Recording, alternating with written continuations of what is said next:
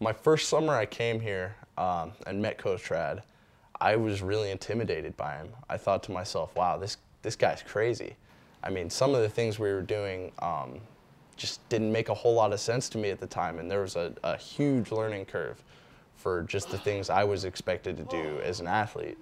But as I kind of got to know more about him and his dedication, and I kind of learned, you know, the method to the madness. Most kids, when they get involved in a, in a weight training program, the first thing they learn is the bench press. They come into a place and somebody shows them how to lay down and grab the bar. And I grew up a lot different than that. When I first came here, I was expecting to see, you know, this big macho dude, but then I see Coach Rad and I was like, oh, he shouldn't be, you know, too much of a handful.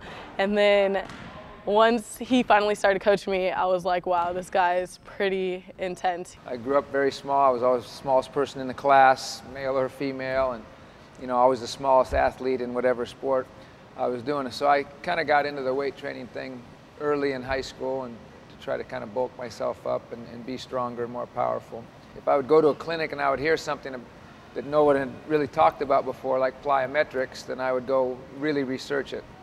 And then the next thing you know, I had more knowledge on that subject than even the people that had told me about it he just doesn't do what everybody else is doing in the industry. He just kind of takes his own kind of style and puts into everything and is not afraid to try something new. And if it doesn't work, then he'll change it. Or so he just kind of makes it fit to our players and to our system. He's put the trademark on Oregon as a school that's fast and explosive and athletic. I like to use the term bullets.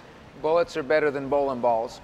We want the ultimate athlete, so to speak, the, the blend of all those things instead of just one thing. Oh, these these people are huge or, or these people are strong or that type of thing. We want the blend of everything.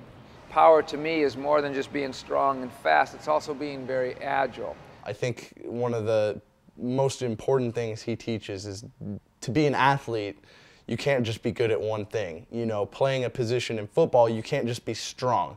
You have to be strong, you have to be able to move, you have to be quick, and you have to be durable. And I think just, you know, kind of keeping your mind open to those things is one of the biggest things he's taught me. Transitional agility. What I mean by transitional agility is, is the ability to make good, smooth, fast transitions, not just from one side of the court to the other or one side of the line of scrimmage to the other, but how well do they make transitions within their own body? How well do they flex, extend, and rotate their body?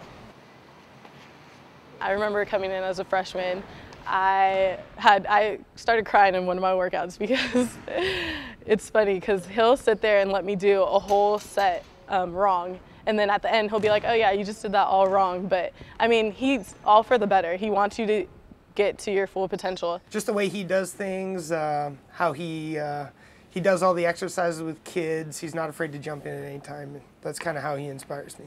Anything I can do, he can do it, and he can do it like 10 times better. His dedication is inspiring to every one of us. Uh, you see a guy who comes here every day, and you know he doesn't take days off, and he what he preaches he lives by. I mean, he means business. Uh, he's not there to play around. He's there to get the best out of you, and um, like we all appreciate him for that and we all have a great amount of respect for him. I think without Coach Rad, uh, the entire mentality of Oregon athletics would be, you know, completely different from what it is right now. One of the reasons I've, I've stayed here for 26 some years is because uh, we've really had good athletes. Good, not, when I say good athletes, not just great on the field, but they were fun to work with, they were good people.